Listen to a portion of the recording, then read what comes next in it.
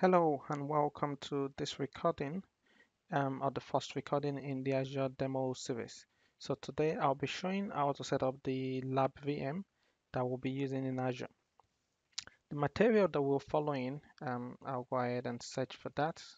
So if you search in Google for 20533 GitHub and if you press enter, the first link that it comes up with will take you to the Microsoft Learning 20533 um, GitHub rep repo.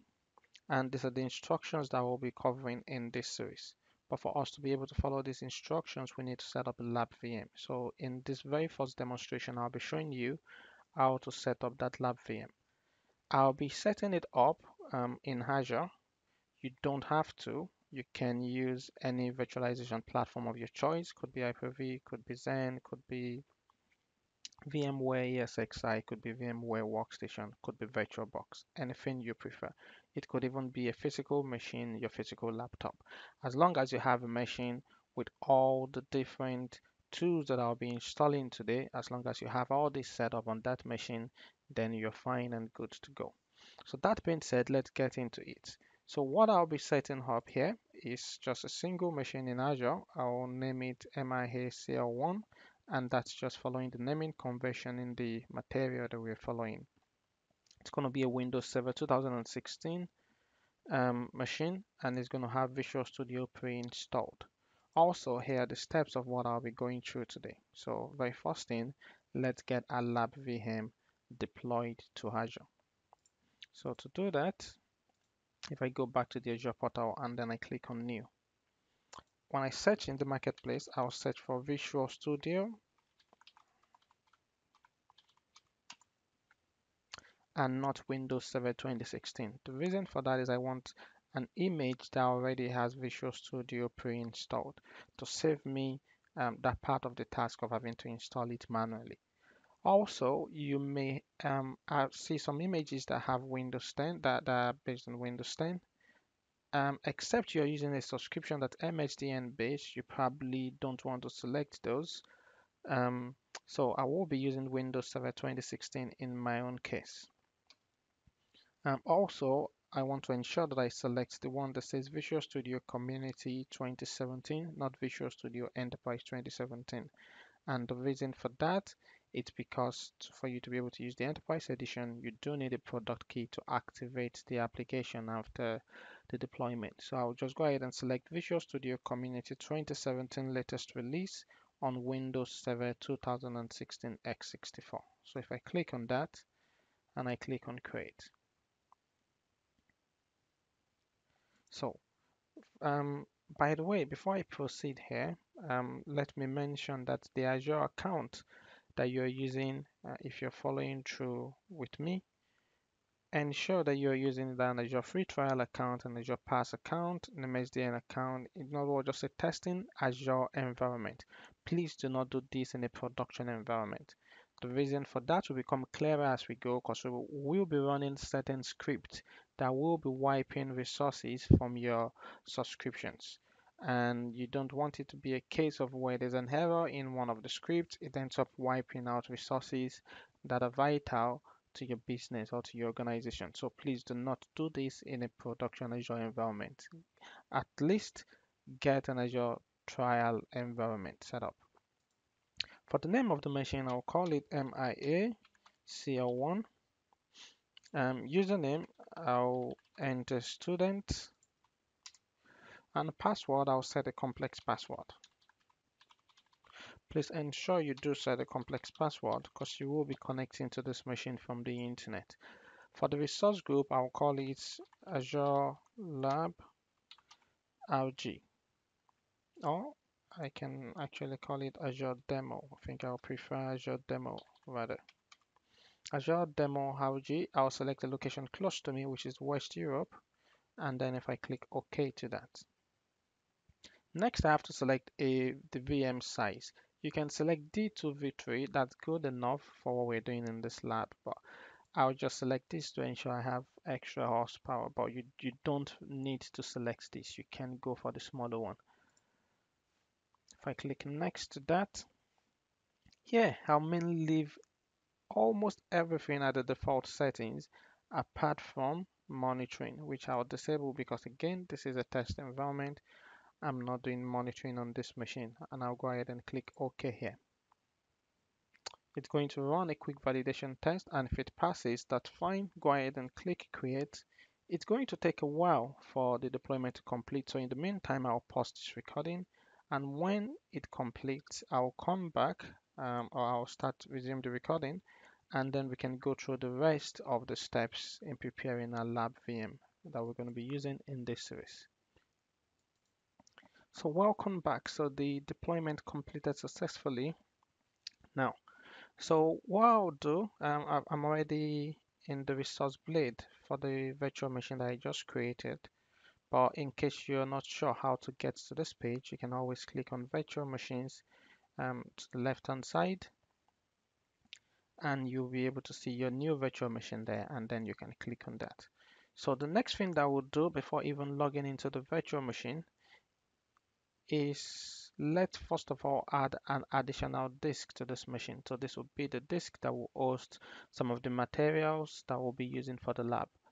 To do that, um, under the settings blade of the virtual machine, if you go ahead and click on disks, and then on the disk, if you click on add data disk, um, no managed disk was detected in my case, so I need to create a new disk. So I'll click on this option here to create a disk.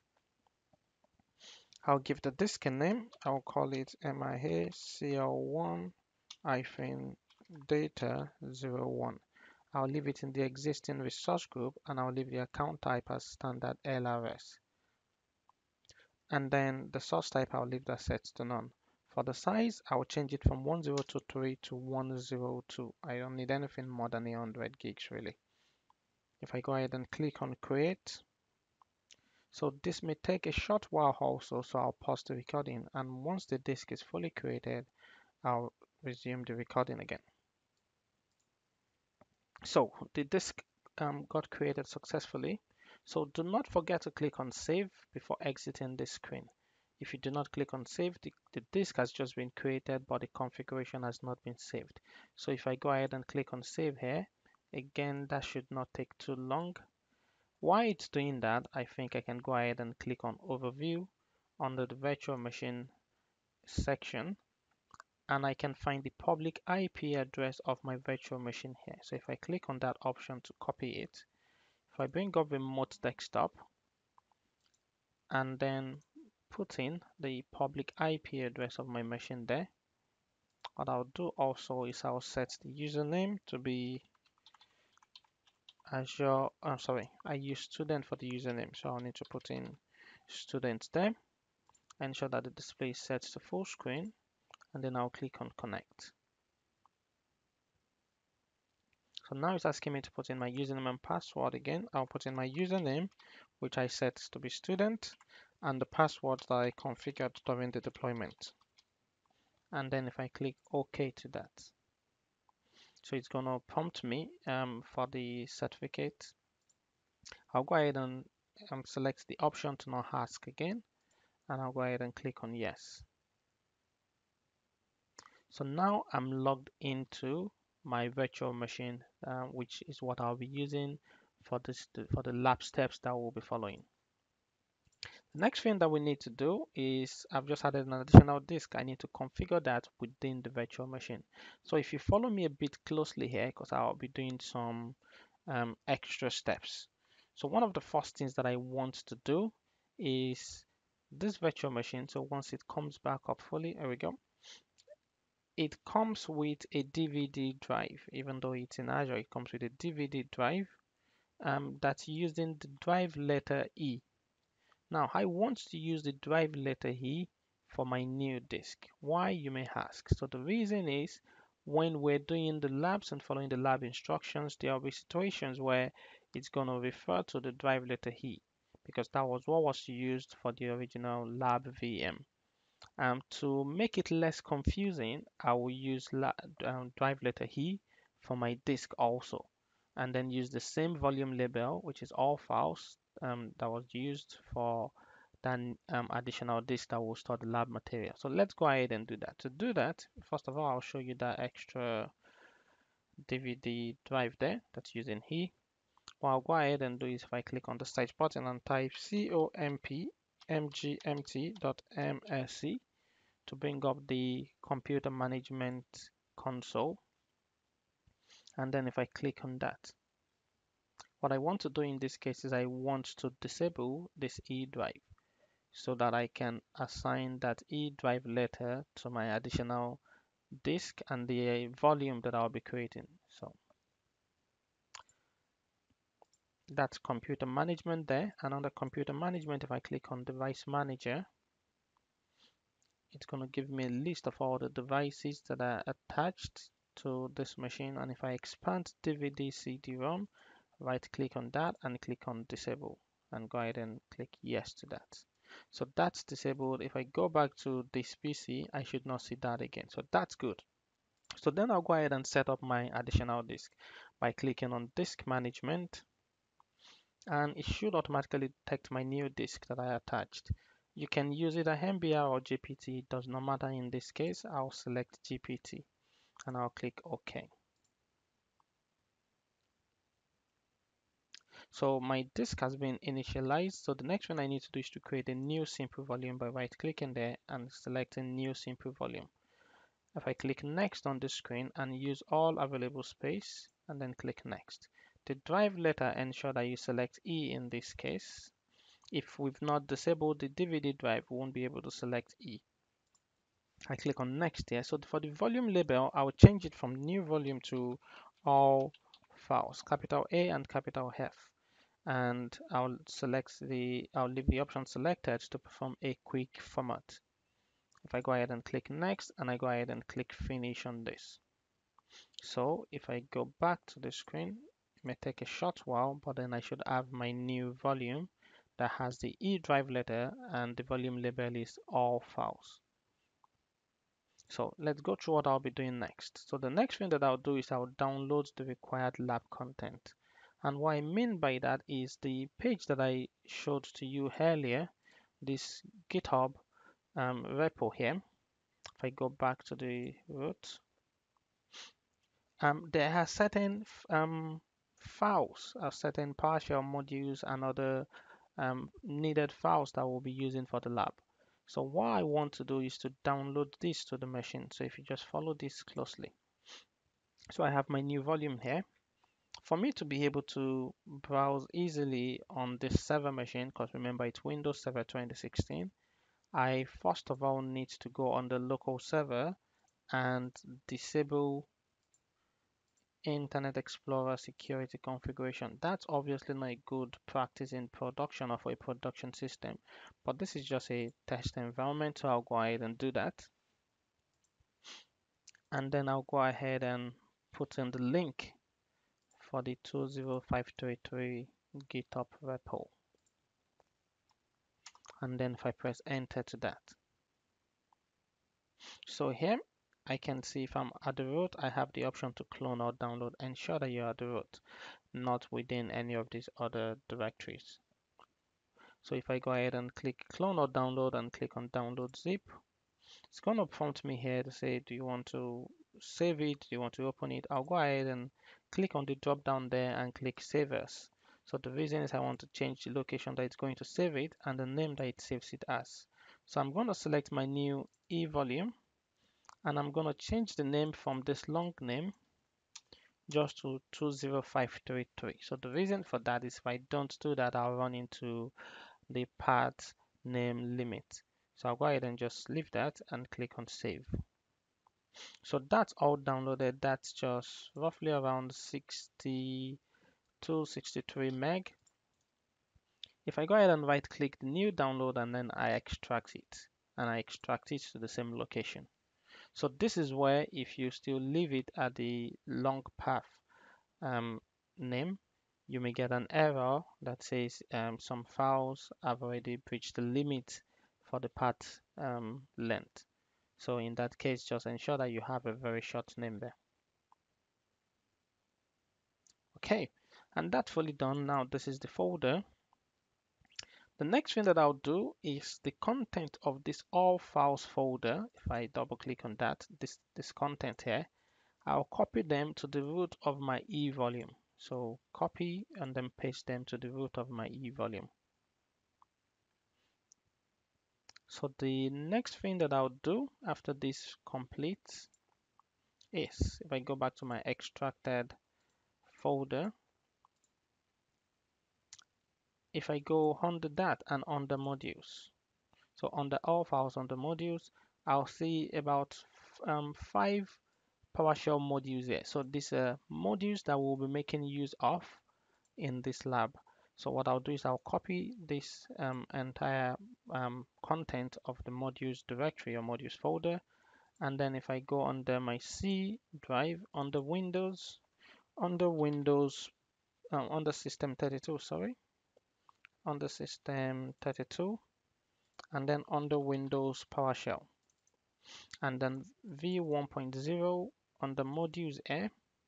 And then if I right click and then paste here. So the reason is um, to make it easier for PowerShell to detect the modules. So I'm putting them in this PowerShell modules um, path. So that's done now. Um, that's the next step done. So going back through the steps we're going through, we've downloaded and um, moved to the right parts the required lab content. The next thing that we'll need to do on this machine is we'll need to install Azure PowerShell and Azure CLI. And to do that, um, we'll be downloading, uh, we'll require certain links that I'll put in the description below. So let's go ahead and do Azure PowerShell first of all. If I go back to my lab VM and then go here and search for PowerShell. If I right click on PowerShell and then click on Run as Administrator. First of all, I'll right click on it and then pin it to the taskbar as we'll be using it a lot in this series. Also, what I did was left click on the top left side of the PowerShell window on the properties because I want to make the font a bit larger and make it easier for you to read. Okay, so to be able to or to install PowerShell, um, we're going to be installing it from the PowerShell gallery. Um, that's the easiest and preferred option. There are other options that we could use. So but we'll be installing it from the PowerShell gallery. But we need um, a module called PowerShell Get to be able to do that. So the very first thing that I'll need to do is to confirm that PowerShell Get is installed on this machine. It is if you've used the same image that I used. Um, if it's not, you can go ahead and download and install it. But in this case, it is installed. So Again, I'll put the links to this in the description below. So get module PowerShell get. Let's verify that that is installed. So PowerShell get is indeed installed. So the next thing that I'll do is I'll put in the command to install Azure RM which is the Azure PowerShell module. So if I go ahead and type the, or put in the command install module, Azure RM allow Clobber, and then if I go ahead and press enter to that. So this is one that may take a while to complete, so I may need to pause the recording. But what we should see very soon is that it's going to reach out to the PowerShell. Oh, okay, actually, you know what? Let's run that again because I, I'll need to explicitly authorize that. So if I run that again without pressing enter twice, they detect my enter already. Because what we need to do is it says you're installing the modules from an untrusted repo.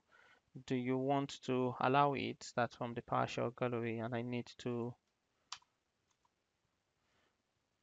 type A to that. So if I type A and then if I press enter, it's going to reach out to the PowerShell gallery, downloads the modules and install those. So in order not to make the recording longer than it should, I'll pause this recording at this time and then I'll come back once it's finished installing. Okay, welcome back. So PowerShell, Azure PowerShell has successfully installed on this machine. The next thing that I'll do is I'll go ahead and download and install Azure CLI also. So to do that, if I bring up Internet Explorer. And then if I go to the link that I'll put in the description also. So if I bring up a new tab, and put this link in there. Scrolling down to install on Windows, or I can click on the right option, the hyperlink to install on Windows, and I can see the MSI installer that I can download from here. So if I click on that, it's going to prompt me. I'll just go ahead and run this rather than do an installation. So I'll click on run.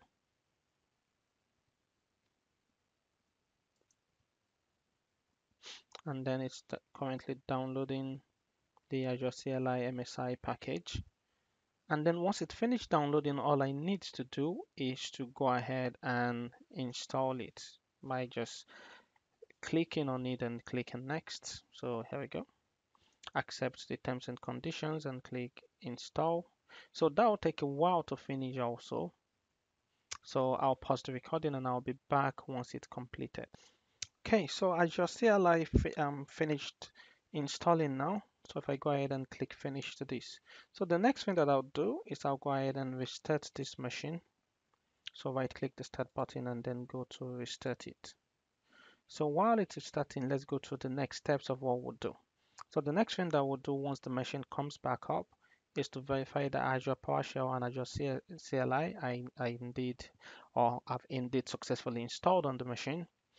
And the next thing that we'll do is we'll install Web Platform Installer to complete this recording.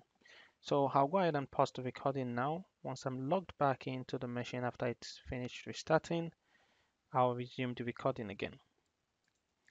So machine restarted now. I'm logged back into the machine via RDP. Let's go ahead and verify Azure PowerShell has been installed. So I'll bring up PowerShell. And then if I type, let's see, if I type in login Azure, I should be able to, um, if I type login Azure RM, I should be able to use the tab button to complete this. So login Azure RM account. And then if I press enter to that, it should pop up to ask me to enter my username and my password. I to actually go ahead and log into this now. So I'll just click close and cancel out of that. The next thing I'll do is I'll click on the search button here and type in CMD for the command prompt. I'll right click on that and click on run as administrator. I'll make this a bit larger for you to read. So I'll make that 24 and the colors I'll make that 255 255 255 then click OK to that. Okay. So for this one I'll do AZ login. And then if I press enter to that it may take a while to respond uh, if you're doing this the first time. But what should happen is it should come up and ask us to go to a URL and put in a code to log on to my Azure account. While this is going on, I'll go ahead and bring up Internet Explorer and try to complete the last steps, which will be to install the Web Platform Installer. Now, Web Platform Installer is not one that we'll actually be using now, um, but it's a tool that we'll use as we go on um, with this whole series. So what it does is it makes it very easy for us to install other tools. So I click on free download on this page and then if I go ahead and click on run. So what I want to do is after it finishes running, I want to pin that also to the taskbar. I'll do the same thing for the command prompt, by the way. I'll right click on it and pin it to the taskbar.